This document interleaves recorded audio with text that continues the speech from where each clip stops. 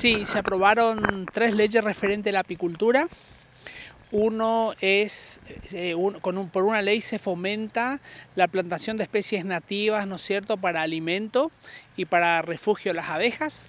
Esta también está relacionada a la meliponicultura, las abejas nativas, también tiene injerencia con respecto a este, esta temática, ¿no es cierto?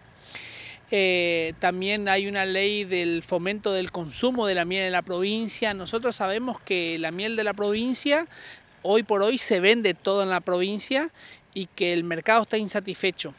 Pero eh, pensamos que a través de esta ley, ¿no es cierto?, que va a traccionar la producción, o sea, al generarse nuevos nichos de mercado y nueva demanda, creemos que también esto va a impulsar eh, nuevas propuestas de trabajo y que va a haber más gente que se sume a la actividad, porque también sabemos que que los productores que están tienen que o, tienen la capacidad de aumentar la producción, pero muchas veces por diversos motivos no lo hacen y pensamos que esto también puede ser un incentivo para ello.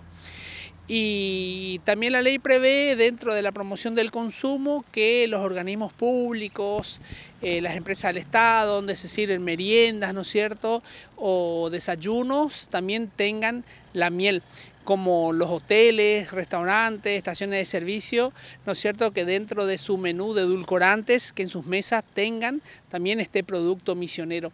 Nosotros no nos tenemos que olvidar que la miel es un producto, la miel de misiones es un producto que es reconocido eh, en diferentes eventos nacionales e internacionales y, es, y siempre sale premiada, ¿no es cierto?, las mieles oscuras de Misiones. Entonces la calidad ya es reconocida en otros ámbitos, no es que lo decimos nosotros que, no, que producimos una miel de calidad, sino que también está reconocido por otros organismos.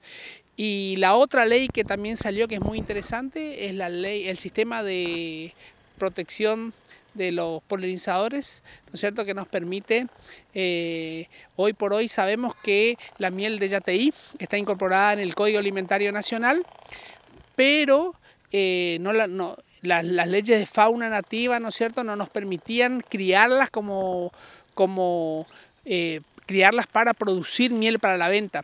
Y ahora Misiones tiene una ley, ¿no es cierto?, que permite realizar la cría sustentable de estas abejas. Lo que se busca con esta ley es proteger las abejas a través del uso. Porque ¿quién más que el meliponicultor para cuidar estas abejas que a su vez le podría ofrecer un producto que lo puede vender? Entonces también creemos que esta ley eh, es importante también desde un punto de vista de eh, protección de las, de las abejas nativas sin aguijón. Y esta ley también prevé la creación de meliponarios públicos, como ya tenemos en Capioí, Puerto Rico, Campo Viera, y ahora estamos haciendo el de el de Posadas. Eh, felizmente con respecto a esto tenemos que decir que Uruguay, siguiendo nuestra línea, línea de trabajo acá en la provincia, hoy tiene su primer meliponario público. Esto es dentro del proyecto del PPD, eh, replicando buenas prácticas de eh, replicando buenas prácticas en apicultura entre Argentina, Paraguay y Uruguay, ¿no es cierto? Dentro de ese proyecto, ellos también están replicando estas prácticas.